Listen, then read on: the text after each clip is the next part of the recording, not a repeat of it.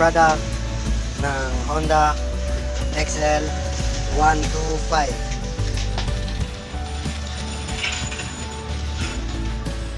Maganda yung pagka-repaint niya. Yan, likod niya.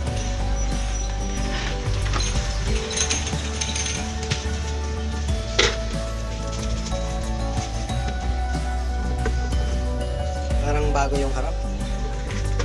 Parang brand new yung harap. Pero yung likod, tingnan mo naman. Oh, ang ganda ng pagka-repaint. Magaling yung nag nag-repaint nito. Pati yung tangke niya. Bagong-bago, kumikintab, kumukitikita. Hindi ko alam kung saan. Tanungin ko nga kasi ang ganda ng pagka, ano, ang ganda ng finish niya.